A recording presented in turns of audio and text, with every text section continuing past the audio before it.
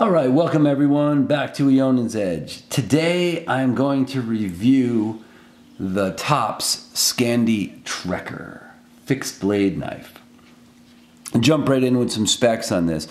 We've got a 1095 steel, partially acid washed blade.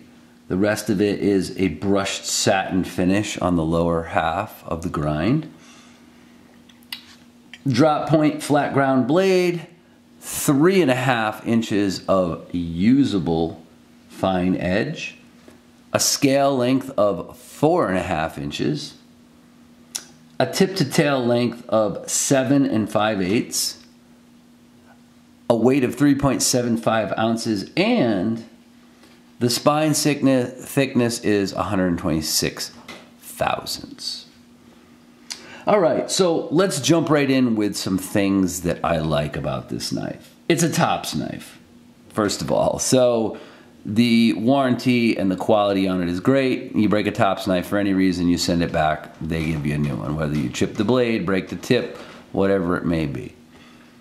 The size on this knife is absolutely perfect for EDC carry. Here's my large glove size hands with all four fingers on there in the hammer position. Still a little bit sticking out there on the back. That is great if you tend to have bigger hands.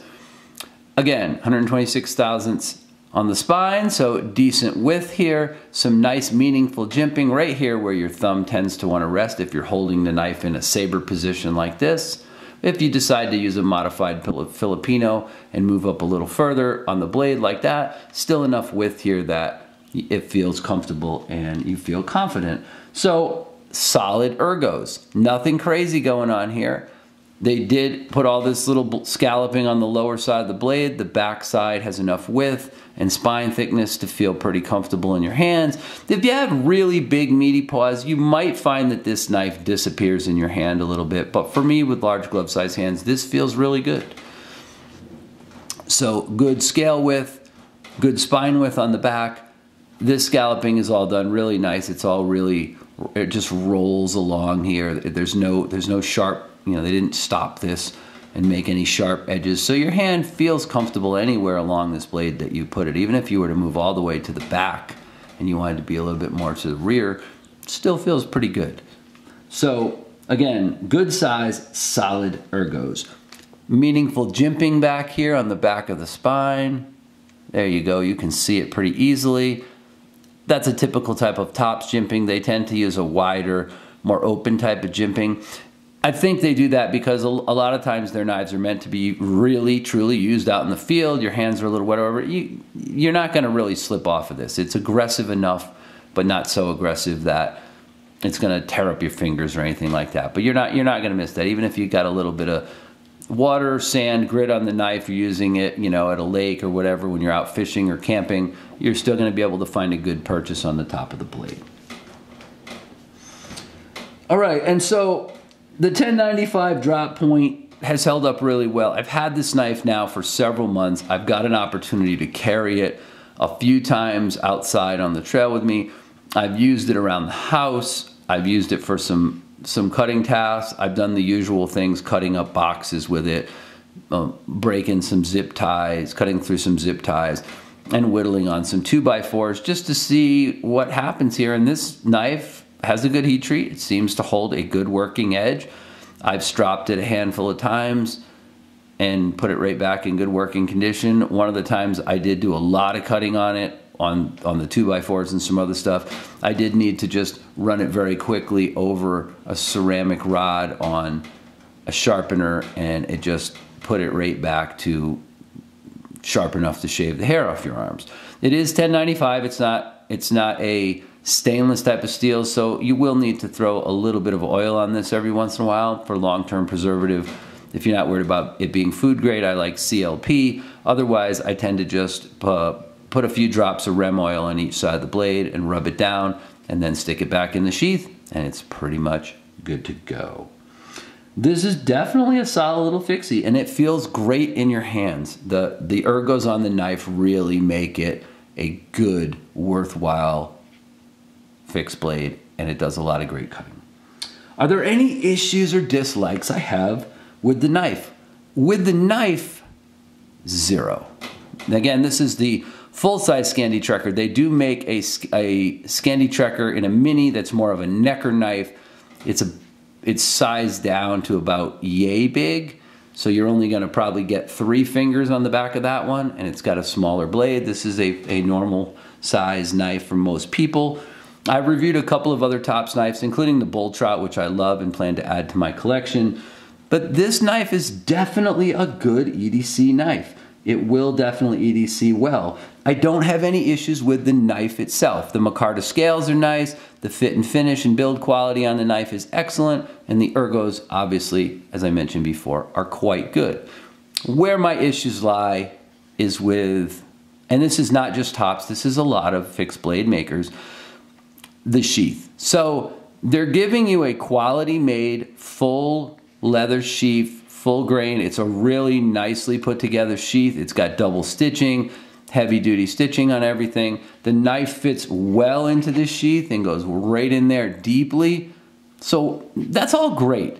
But the problem is, if I want to EDC this knife, I only have the drop position like this.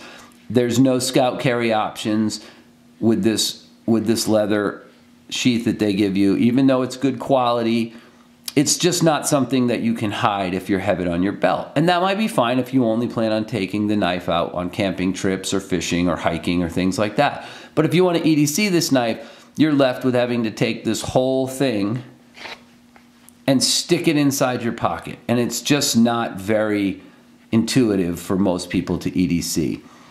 So I would love if Tops offered a Kydex option, a, a good well-designed Kydex option with their knives instead of getting it with a leather drop holster because I can't scout carry this and I can't easily attach this with a stitched loop on it to my gear. I can put, my, put it through my belt and that's the way I've carried it. I've tried carrying it in my pocket a couple times. It annoys me. I just don't like the sheath at all. And that does seem to be a weak point with a lot of EDC knives that I've looked at. Fortunately, Armatus Carry offers really nice Kydex holsters with removable straps that can be carried in any position for most popular knives, including the Scandi Trekker. I will leave a link in the, uh, the, the, description to Armatus so that you can go look that up if you should decide to pick up this knife and want a nicer sheath like I do. I will be purchasing one of the Armatus sheaths for this knife because the only problem I really have with this whole knife setup is that I'm not a fan of drop carry and a big bulky leather sheath. For some people that might be fine and if that's you, thumbs up to you. But beyond that, I don't really have any problems with the knife. Let's do a quick size comparison. Let me show you the knife that's probably the most popular small EDC knife that most people are carrying, and that is the ESEE Izula 2.